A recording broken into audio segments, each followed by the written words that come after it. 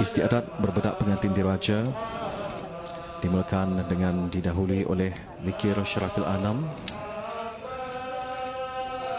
Ketika ini, ke bawah duri yang maha mulia, Paduka Seri Baginda Sultan dan Yang di-Pertuan Negara Brunei Darussalam telah dijunjung menjuluki bedak diraja. Ikuti ke bawah duri yang maha mulia, Paduka Seri Baginda Raja Isteri. Dan ini juga diikuti oleh uh, tembakan meriam sebanyak 17 das sebagai menandakan bermulanya istiadat berbedak pengantin diraja. Istiadat menculiki bedak diraja oleh ke bawah duli yang maha mulia Paduka Seri Baginda Sultan dan Pertuan Negara Brunei Darussalam dan ke bawah duli yang maha mulia Paduka Seri Baginda Raja Isteri.